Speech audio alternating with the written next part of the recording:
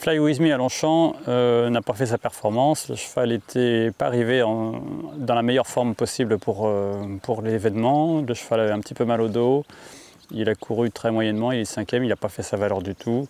Il s'avère qu'après la course, on avait quelques petits soucis respiratoires que l'on a soignés, qui étaient sans gravité, mais bien sûr, ça a occulté sa performance. Ah depuis, donc, on a tout réglé, donc il n'a plus mal au dos. Ça, ça a été vu et revu par les ostéopathes, par l'ostéopathe. Et euh, également, ce problème, euh, comment dirais-je, euh, respiratoire, qui était quand même secondaire, a été quand même vraiment bien soigné. Et donc, le cheval va se présenter avec, dans de meilleures conditions.